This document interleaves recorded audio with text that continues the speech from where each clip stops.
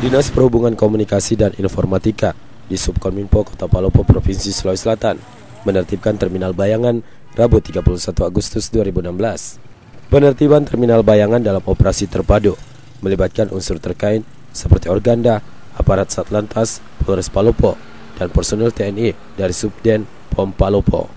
Penertiban Terminal Bayangan dipusatkan di empat titik, yakni di kawasan Jalur 2, Jalur Mangga sekitar Gedung Olahraga Korlaga Ligo, Jalan Kelapa, Jalan Durian sekitar pusat niaga Palopo.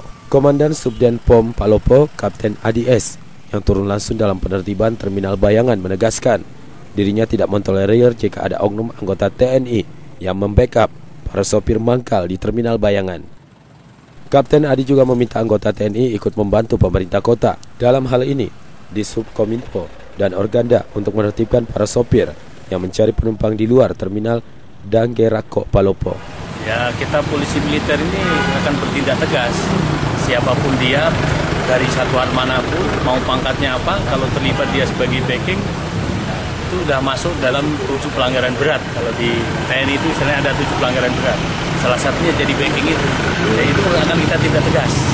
Sementara Kadis Kominfo Kota Palopo Baso Ahmad mengatakan operasi penertiban terminal bayangan di Kota Palopo dilakukan secara terpadu di mana pihaknya menggandeng unsur TNI, Polri, dan Organda selaku organisasi para sopir angkutan darat. Dengan operasi terpadu tersebut, Baso Ahmad menghimbau para sopir, baik sopir angkutan dalam dan luar kota, agar tidak lagi membuat terminal bayangan di sekitar terminal Danggerako, Palopo, seperti di sekitar Jalan Kelapa, Jalan Mangga di sekitar Gor Palopo, kawasan Jalur 2, termasuk Jalan Durian di kawasan PNP. Yang ada yang patuh terhadap aturan. Jadi mereka komplain kenapa banyak itu biarkan. Ini yang kita mau tertibkan. Teman-teman meminta bantuan dari uh, Subdempom dan juga Satlantas. Yang terkait. Bahkan kami ke depan mau menertibkan juga uh, plat-plat gantung dengan melibatkan organda. Dalam penertiban terminal bayangan tersebut, personil Satlantas Polres Palopo juga menertibkan mobil penumpang berplat hitam.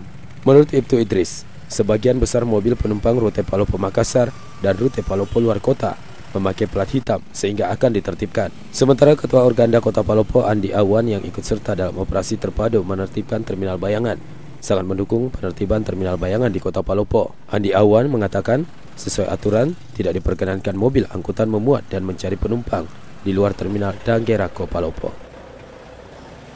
Wartawan Koran Seruya, Israel Langli mewartakan dari sudut Kelapa Jalan Kelapa, Kota Palopo, Provinsi Sulawesi Selatan.